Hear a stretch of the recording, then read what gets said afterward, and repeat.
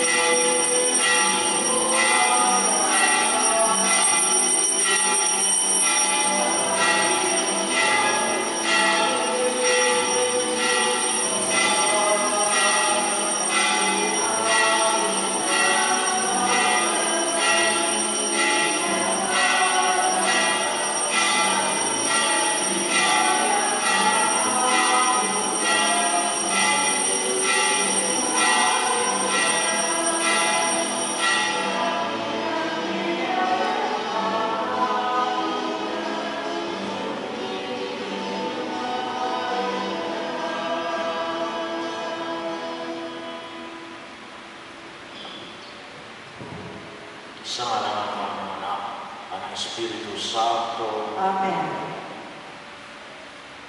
sumainyo ang Panginoon. At sumayo rin. Tampok sa Ebanghelyo ang pagtawag ni Jesus kay Simon bilang Pedro, ang bato.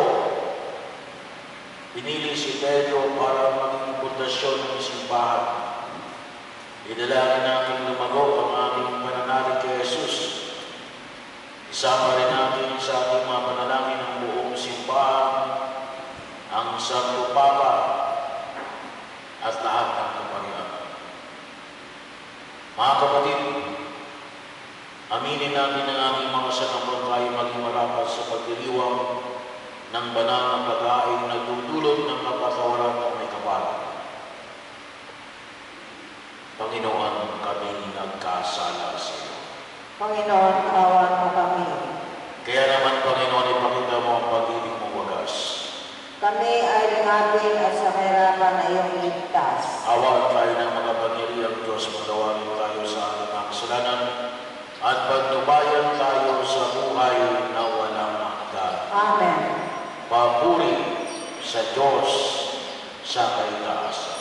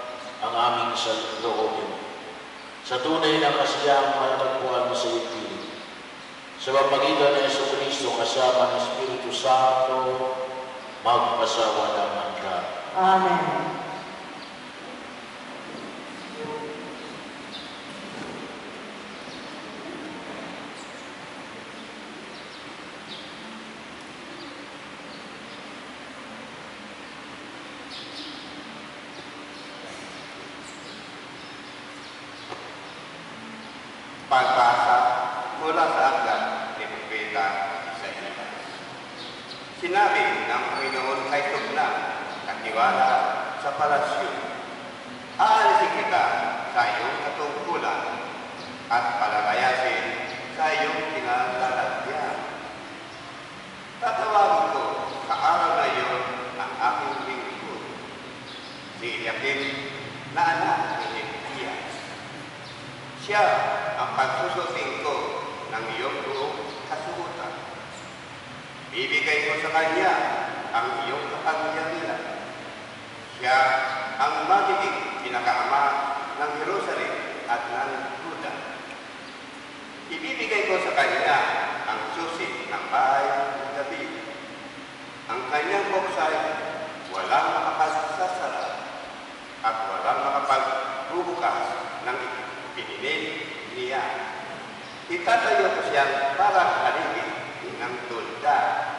Itatayo ko ng matibay sa isang matatag na lugar. At siya magiging marangal na lugtuka para sa sambahayan ng kanyang ama.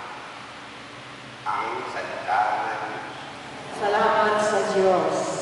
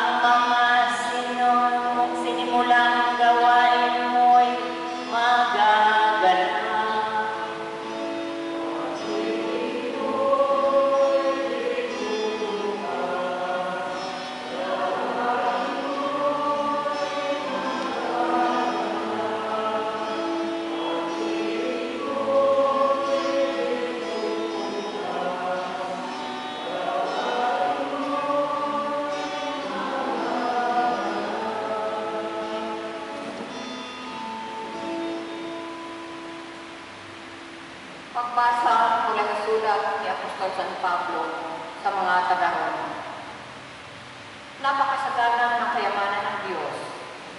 Di matarok ang kayamanan, karunungan at kaalaman ng Diyos. Hindi maliit ang kanyang mga panukala at pamamaraan. Gaya ng nasusulat.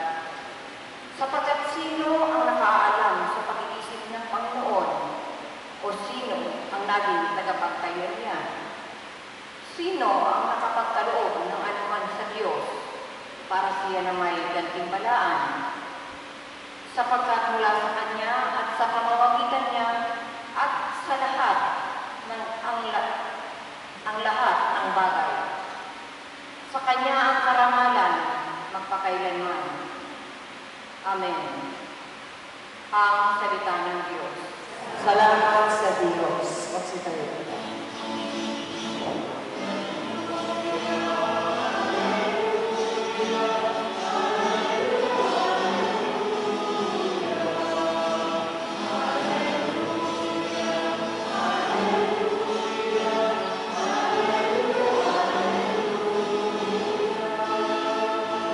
Ito, Pedro, ang salita ng ating simbahan, banal na daig ang kamatayan.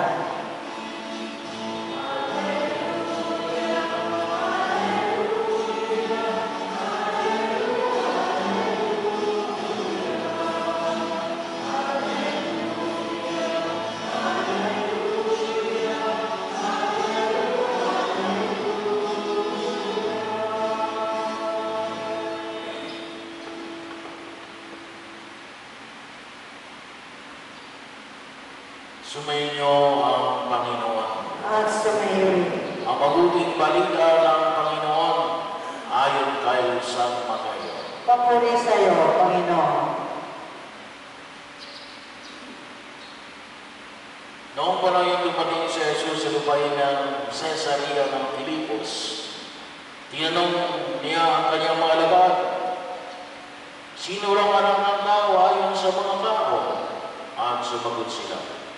Ang sabi ko ng nila ay si Juan Bautista kayo. Sabi naman ng iba, si Elias kayo. At may nagsasabi pa, si Jeremias kayo o isa sa mga propeta.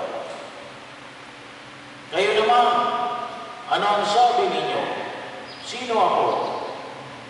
Tanong niya sa kanila, sumagot si Simon Pedro, kayo po ang Kristo, ang anak ng Diyos na buhay.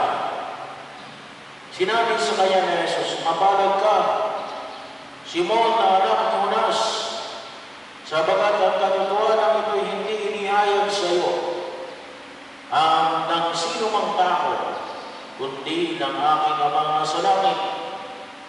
At sinasabi ko naman sa iyo, ikaw ay Pedro, at sa ibabaw ng batong ito ay tatayo ko ang aking simbahan, at hindi makapananaig sa kanya ay ang kapangyarihan ng kamatayan.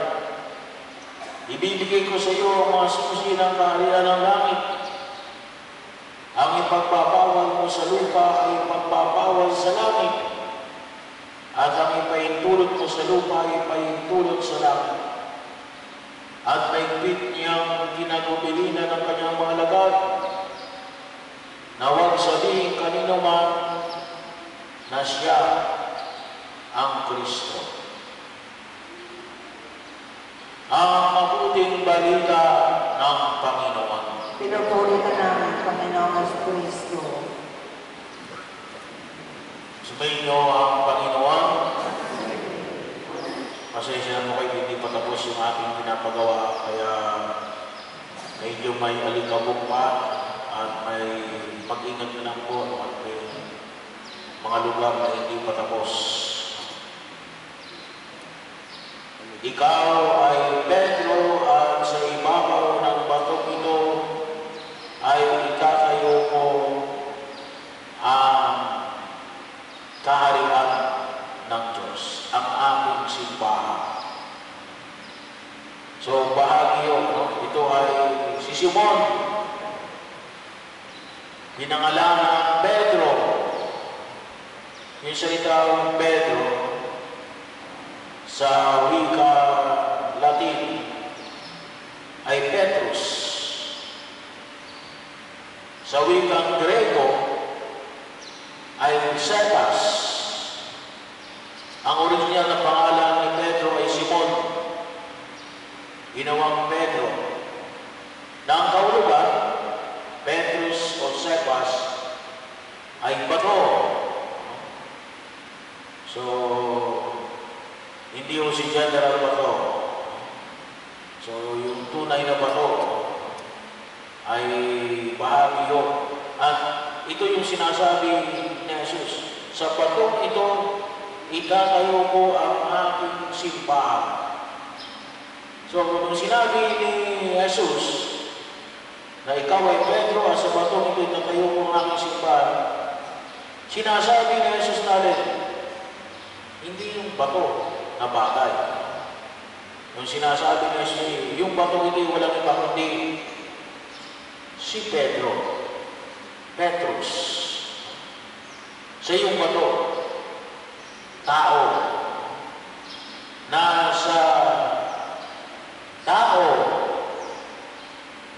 ang pundasyon ng simbahang itinatag ng ating Panginoong Yeso Kristo. At din ay walang iba kundi si Simon Pedro. Siguro sabihin natin ay, bakit pinili si Simon? Ah, ito ba yung pinaka-perfecto? Ito ba yung pinakamagaling sa kanyang mga alagad?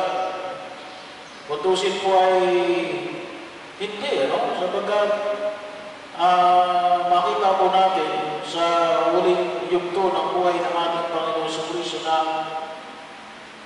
itatatuwa niya si Jesus. Itatatuwa niya si Jesus. Pero pinili siya ng Diyos. Pinili siya ni Jesus, no? Bakit? Kasi sinabi niya na ikaw ang Kristo, ang anak ng Diyos na buhay.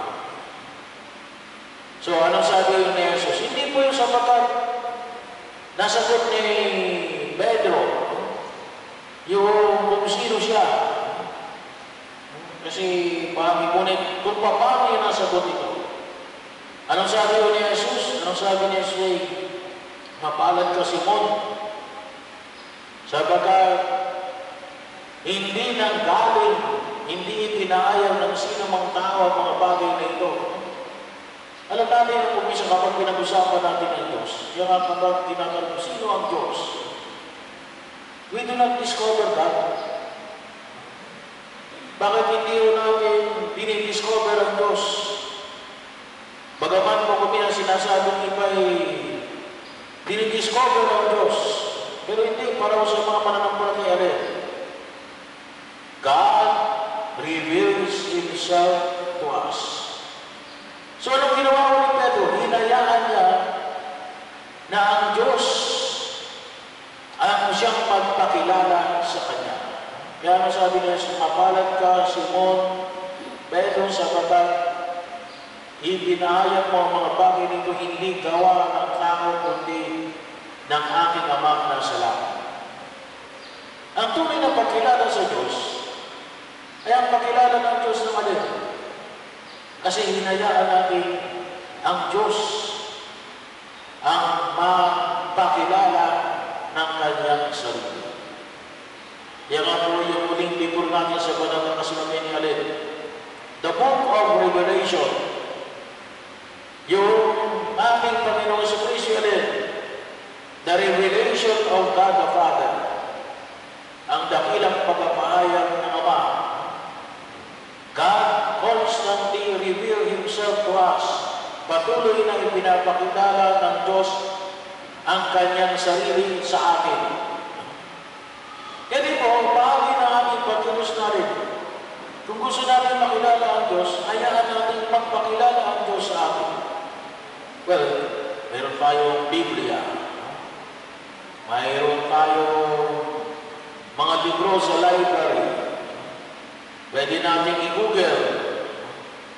Pwede natin na uh, makita kung ano sinasabi ng mga magulang natin. Pwede natin masabi na, ah, ito yung, ito yung sabi ng pare. Mga bagay na maaaring makatutulong sa atin, pero hindi yun ang hinahanap ng Diyos. Yung hinahanap ng Diyos ulit, kinakailangan ulit, ikaw mismo ang makatakbo sa Kanya. Kasi hindi mo siya makikilala. Unless you encounter God. Kinakailangan makatagpo mo ang Diyos. Asala ko, alam niyo kung minsan, kapag tayo ay nakipagtagpo, sabi niya, gusto kang makausap ng tao ito. Ano sa isip kagad natin niya din? An encounter to touch. Yung pakipagtagpo kasi may gagawin. Rather, sana makita natin na rin to encounter the person. Makakatagpo natin ang Diyos mismo. Sana, kahit na wala tayong gagawin, kahit na wala tayong gagawin, ang mahalaga rin, makasama natin ang Diyos. Yun ay sapat. Pero alam natin, nagkaroon na alam, may gagawin din naman tayo. Pero hindi lamang yung aming pagkilala na pakipagtagpo ay kasi may gagawin tayo. Yung hinahanap ng Diyos ulit, makatagpo namin siya dahil gusto namin makasama ang Diyos to encounter a person, not to encounter a task. Hindi lang sabagat may gagawin tayo kaya tayo nagkakatipon-tipon. Tayo nagkatipon-tipon maralin, magkasama tayo. Simply to be with you. At yun po ang makita po natin. Kaya, nasagot ni Jesus, yung tanong na ni, sorry, na, nasagot ang tanong ni Jesus ni Pedro, bakit gawa? Hinayaan niya na maging bukas ang kanyang kalooban sa pahayag ng Ama. Kaya yun ay makakita lamang natin kung saan sa pamagitan ng pakipagtagpo natin sa Diyos. At sigurado ko, kapag nakatagpo natin ang Diyos, ay makikilala natin siya. Makikilala natin siya.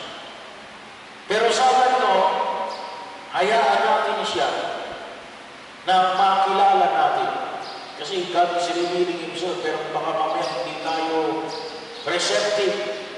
Hindi tayo, hindi natin tinatanggap ang pagpapakilala ng Diyos sa ating sarili, sa ating buhay, sa ating pag-ilo sa daigdig na ito.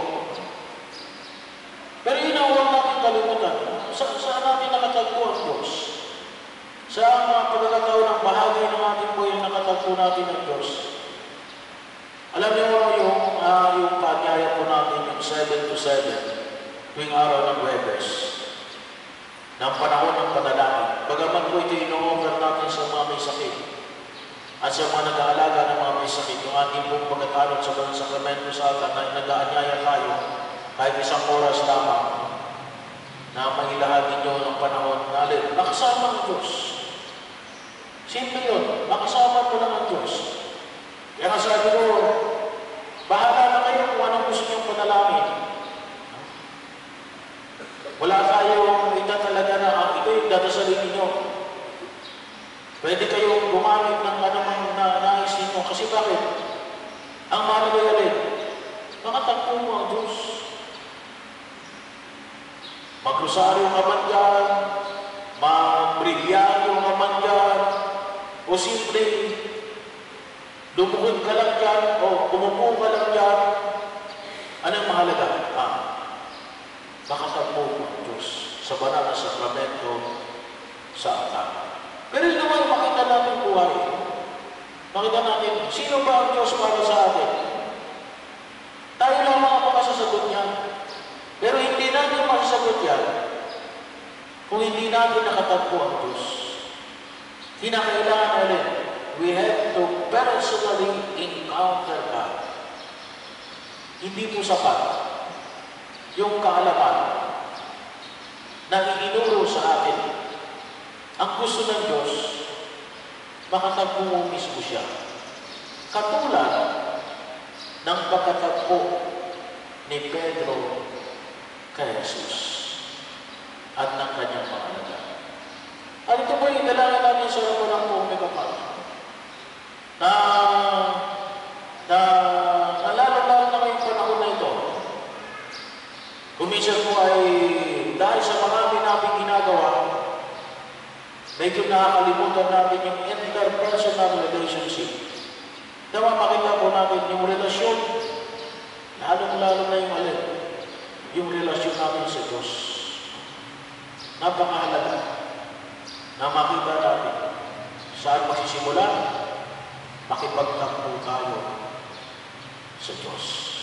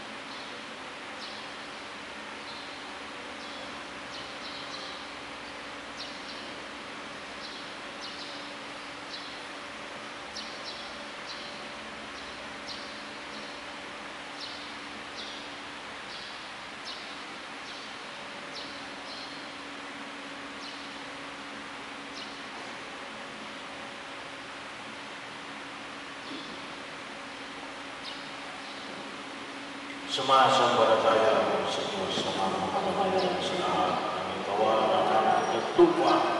Sumasambalataya ako kay Yesu Kristo, ang isang anak ng Diyos, Panginoon namin lahat. Nagdadawang tao siya lang ng Espiritu Santo. Ipinanganak ni Santa Maria Mire, ipinagpakasahan ng Diyos sa Pilato. Pinako sa krus na matay pagiging, nanahos na lumanan ng mga imawa. Kamay tatlong araw na buhay na maguli, umakyat sa langit, naluklok kanan ng Diyos ang mga kapangyarihan sa langit. Doon magmumula ang paririto at umulong sa mabubuhay ng mga imawa. Sumama sa parataya naman ako sa Diyos Espiritu Santo, sa banal na simbahang katolika, sa kasamahan ng mga banal, sa kabaturan ng mga kasalanan, sa pagabuhay ng muli ng matay na tao, at sa buhay na walang hanggan. Amen. Iniabili ni Jesus ang susi ng kahaluan kay Pedro upang manatili ang mga lagad sa pagkakaisa. Dalangin natin sa Diyos Ama na mga naglilingkod bilang mga pastor sa ating simbahan. Panginoon, tingin mo kami. Panginoon, ibigin mo kami. upang ang Santo Papa, mga obispo, mga pari at mga diakono na humanili kay Pedro at sa mga apostol ay patuloy na buma- bumabay na sambayan ng Kristiyano sa pamamagitan ng pagtuturo ng tamang aral at moralidad. Manalangin tayo. Panginoon, ibigin mo kami. upang ang mga namumuno sa pamahalaan ay patuloy na umasa kay Kristo sa pagsisikap na labanan at iwaksi ang kapangyarihang dulot ng kamatayan at kasamaan. Manalangin tayo. Panginoon, ibigin mo kami. Upang ang mga leader na pinagkakatiwalaang mga laga sa bayan at kalikasan ay huwag magmalabis sa kapangyarihan at huwag gumanti ng lakas. Manalangin tayo. Panginoon, ibigin mo kami. upang ang mga guro, mga katikista at mga mag-aaral ay maisabuhay at maipahayag ang mabuting balita at tanggapin si Kristo bilang batong saligan at haligi ng kanilang pamilya at komunidad. Manalangin tayo. Panginoon, ibigin mo kami. upang ang mga nawawalan ng pag-asa, dala ng mga pagsubok sa buhay, ay makatakbo ng bagong simula at galak sa pagtitiwala sa Diyos. Manalangin tayo. Panginoon, tingin mo kami. Panginoon, pinanatag mo ang aming mga pananampalataya sa pamagitan ni Pedro at ng kanyang mga kalili. Igawan mo ang mga biyayang kailangan namin upang lumago kami sa isang pananampalataya. Hiniling namin ito sa pamagitan ni Kristo, anak mong nag-ahari, kasama ng Espiritu Santo, mampasawalang ka. Amen.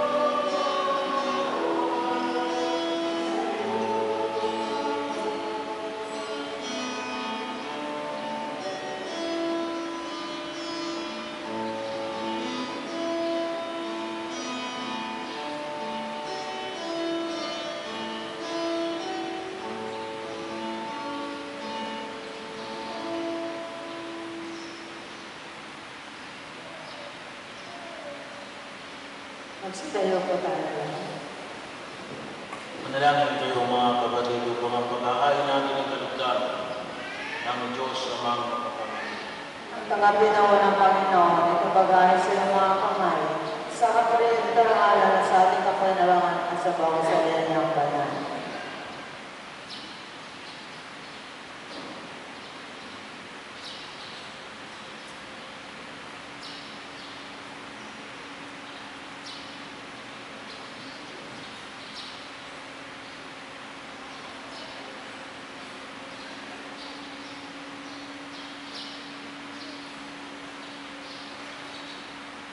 Ama naming lumika, pinagkamit mo kami ng iyong pag-uko pakundangan sa isang pampalagiang paghandog kaya sa iyong sabay namin ay iyong ipagkaluwag ang pagkakaisa at kapayapaan.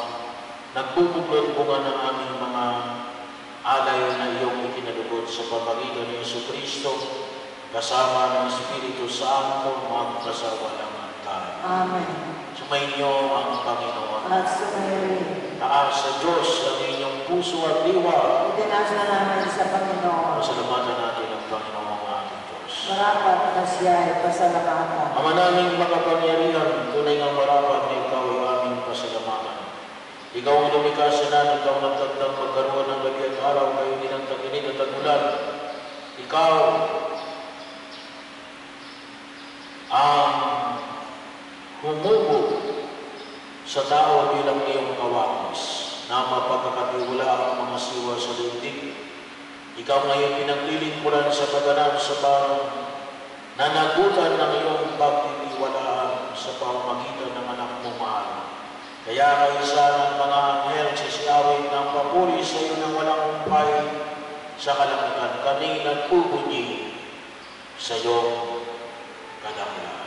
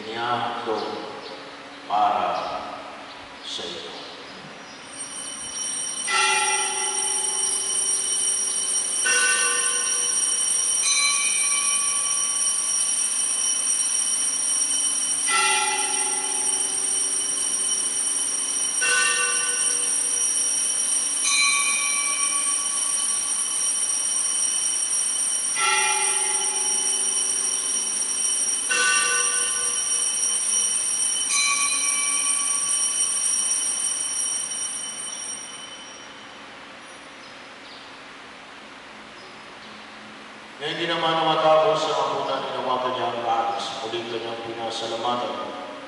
Iniabot niya ang alis sa kanyang mga alagad at sinabi, Tanggapin ninyong lahat ito at inamin ito ang kalis ng aking dugo ng bago at walang hanggang. Ang aking dugo na ibubuhos para sa inyo at para sa lahat. Sa kapagpapatawad ng mga kasalanan, gawin ninyo ito sa pag-alaala sa akin.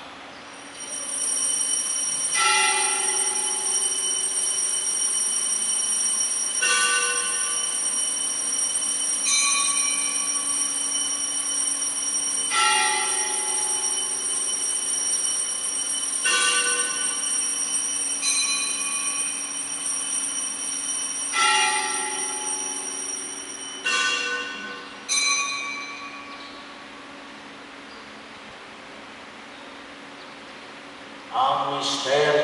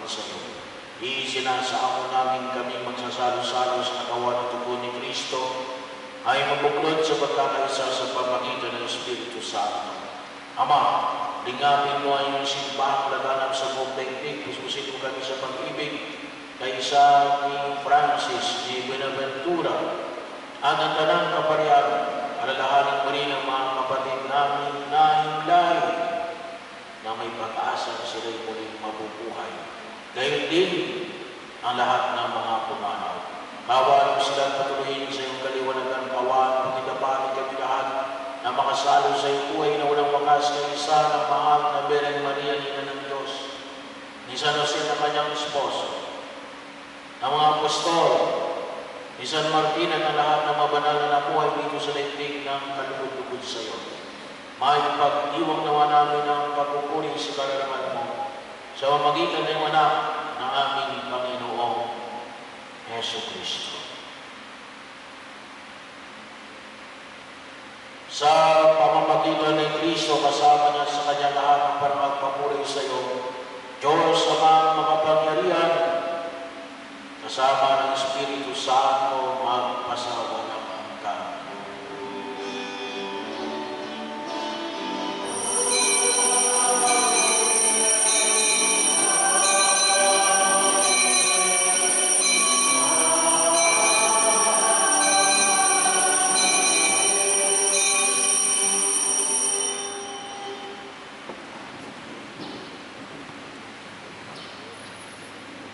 sa ating pakipagtagpo sa Diyos.